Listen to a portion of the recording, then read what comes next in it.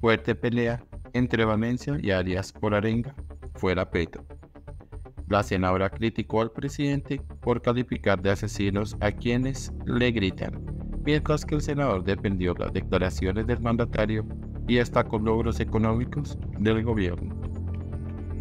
La senadora Paloma Valencia del Centro Democrático volvió a salir en contra de las declaraciones del presidente de la República, Gustavo Petro, por calificar de asesinos a quienes le gritan fuera Petro en las calles y lugares públicos, y que desde hace varios meses se está volviendo frecuente. Mientras Paloma Valencia insiste en que la actitud de Petro es un ataque frontal contra la oposición, desde el pacto histórico aclaran que las declaraciones del presidente son opiniones personales, algo que fue aclarado por el senador del pacto histórico Wilson Arias, quien responde que la corrupción rampante en gobiernos anteriores, como los de los uribistas, han perjudicado enormemente al país, a diferencia del actual.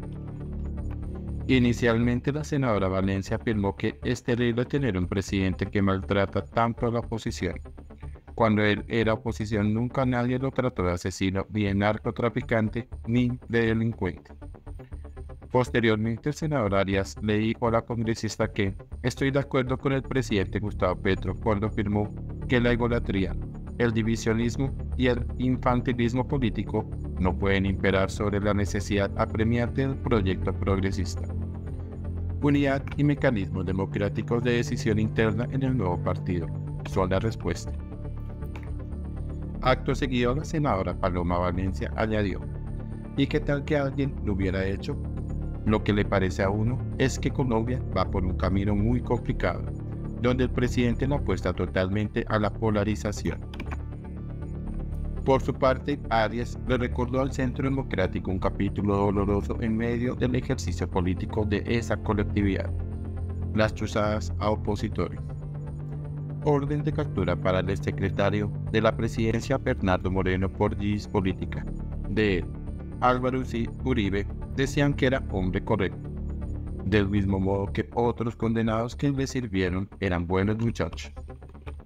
No obstante, la controversia escaló al plano económico sobre el cual la parlamentaria Paloma Valencia advirtió que el gobierno aumentó los gastos de funcionamiento en más de 19 billones y la deuda en 18 billones. Los programas de inversión social lo recortan en 17 billones. Ahora buscan poner una reforma tributaria a los colombianos para recaudar 12 billones, sin hablar de las inversiones forzosas que están planteando. Por su parte, el congresista Wilson explicó bajo ese entendido que el gerente del Banco de la República resalta la histórica reducción de la inflación en el último año y medio Leonardo Villar anunció que Colombia ha alcanzado la mayor reducción de la inflación en los más de 100 años de historia de este organismo estatal.